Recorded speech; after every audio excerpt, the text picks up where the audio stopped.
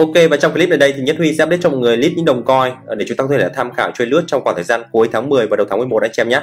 Trước khi xuống tiền thì mọi người nhớ tìm hiểu thêm về dự án về lịch trả token đó. Và đây là thông tin tham khảo không được xem lời khuyên đầu tư nha. Đồng coin đầu tiên mình cập nhật cho mọi người trong clip này đây, đó là đồng linh anh em nhé. Đồng linh này thì mọi người cứ hay nói là cáp lớn thì khó mà có thể ăn được ấy. Tuy nhiên mọi người nhìn lại cái đồng Matic đi. Trong khoảng thời gian một tháng ờ, khi mà thị trường hồi phục trở lại nó cũng x2 hơn x2 đó thì đồng linh này tính thời điểm hiện tại đây thì khả năng về cái sóng đẩy của nó cũng không thể kỳ vọng lên được x2 đâu. Tuy nhiên ăn được ờ, 10 20 phần trăm thì vẫn có thể là kỳ vọng được. Đối như anh chị em chúng ta gọi là vốn lớn trade ấy thời gian vừa qua thì nó có khá là nhiều thông tin quan trọng rồi đúng không? Cái vùng mua của nó quanh cái giá khoảng tầm 6,8 đến 7 đô la anh chị em nhé đó đối với đồng linh này. Tiếp tục đối như vậy ờ, đối với cả đồng NS anh chị em nhé đồng NS này thì mình cũng không giải thích lại nữa bởi vì trong clip trước thì mình có nói rồi vùng mua thì thời điểm hiện tại đây 9014 nó đang có cái xu hướng gọi là sideways nhẹ ở trên đường MA34 và nếu mọi người mua thì nhờ cái giá hiện tại đây là 19,27 đô la mọi người có thể mua quanh cái giá 19 cũng được. Và đi xây thêm một cái giá nữa quanh về cái giá 17 đô la anh em nhé. 17 đô la và đến à, 19 đô la. Đó đồng NS tiếp tục đối với đồng Uni anh chị em nhé đây là những đồng coin hiện tại market cap của nó khoảng tầm 1 2 3 tỷ đó. Anh chị em có thể là tham khảo thêm. Đối với những người chúng ta gọi là có vốn lớn chơi ấy, thì nó an toàn đỡ bị chia hơn. Tuy nhiên thì ROI của nó thì tất nhiên là một người vốn lớn thì cũng nên xác xác định đúng không? Ok đối với đồng Uni này thì hiện tại đang là 6,3 đô la. Trên quát 4 thì khả năng có thể là test lại thì mới có thể là mua quanh cái giá từ 5,6 đến 6,1 đô la đối với đồng Uni anh chị em nhé.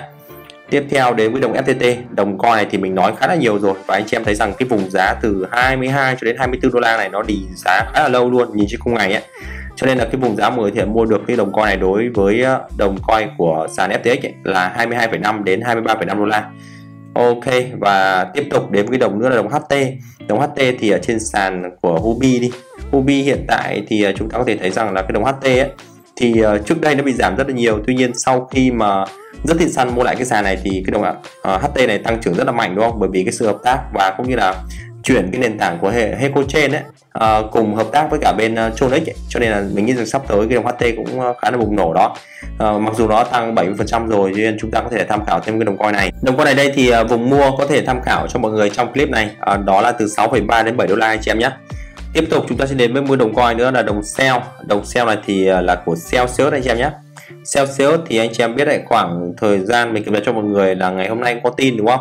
À, tuy nhiên thì thông tin của nó chưa được ok đâu. Thông tin về cái quản điều à, về cái ờ, về cái buổi điều trần sắp tới mà nó có khả năng sẽ được bán lại cho FTX ấy, à, thì vào ngày mùng 1 tháng 11 cho nên là mọi người có thể là mua con này à, quanh cái vùng giá từ cái vùng giá hiện tại và đi chơi thêm một cái giá nữa về cái vùng là 0,9 đô la anh chị em nhé.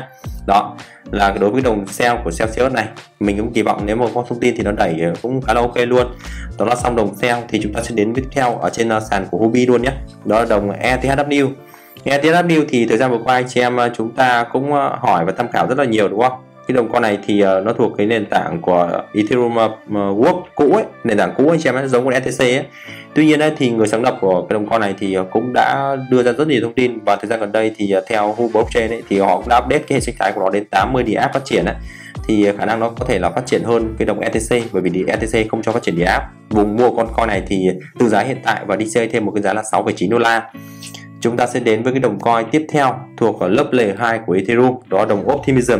Optimism là một đồng coin hỗ trợ đắc lực cho hệ sinh thái của Ethereum. Tuy nhiên thời gian vừa qua chỉ giảm thôi mà không thấy sự sóng hồi phục. À, sau khi cái Fed à, hôm trước công bố CPI đúng không? Hôm ngày 13 tháng 10 CPI thì giật về 6,5 0,65 đô la. Cho nên là vùng mua con này thì anh chị em có thể tham khảo à, là Optimism đúng không? Thì à, đâu đó khoảng tầm 0,65 đến 0,69 đô la anh chị em nhé. Đó đồng ốp này. Sau đồng ốp chúng ta sẽ đến với cái đồng IMX đó IMX thì cũng thuộc lớp layer 2 của Ethereum. Quanh cái giá 0,6 đô la mọi người có thể mua ok rồi mua và có thể đi xây thêm một cái giá 0,61 nhé. Tiếp tục như vậy thì chúng ta sẽ đến với đồng coin nữa đồng STG nhé. STG mọi người hỏi rất là nhiều đúng không?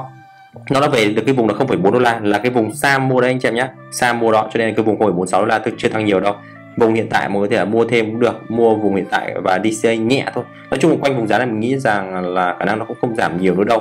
Trừ khi thị trường có thông tin gì xấu đó nó kéo bitcoin và toàn, toàn thị trường xuống ấy thì cái đồng này có, có thể là nó sâu xuống sâu hơn nữa thôi à, còn nếu mà thị trường hồi phục thì chắc chắn là đồng coin này sẽ có một cái sóng phục rất ok luôn.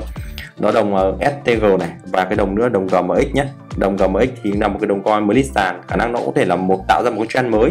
Thì chưa biết rõ được. Tuy nhiên thì uh, theo cái chart này thì khả năng nó sẽ có một cái sóng hồi phục thì mọi người có thể là chờ về cái vùng mua từ về 36,5 gì đó 36,5 đến 37 đô la. Đó là cái vùng mua đối với con GMX này. Ok và trong clip ngày nay đây thì mình đã biết cho mọi người vùng mua của như đồng coin mình đã check qua rồi ấy, thì mọi người có thể tham khảo và thông tin ờ, chỉ mang tính chất gọi là cung cấp thôi và không được xem để khuyên đầu tư đâu anh chị em nhé. Xin được cảm ơn và hẹn gặp lại tất cả anh chị em và nhớ thả một tin như là follow nền tảng tiktok để không bỏ lỡ tất cả nội dung đó nha